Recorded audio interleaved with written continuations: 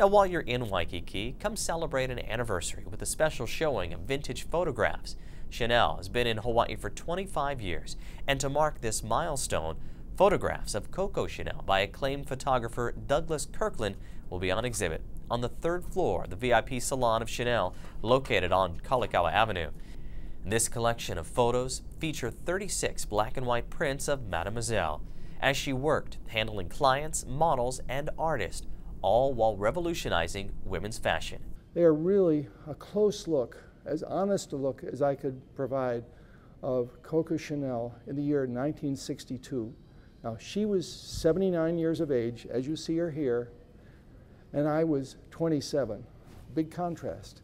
But it was very special, and it's, it's so good because she comes to life, and that's what I'd hoped for when I was doing my assignment. Chanel is an international luxury goods company founded in France by Coco Chanel and features a broad range of designs as well as fine jewelry, leather goods, and more.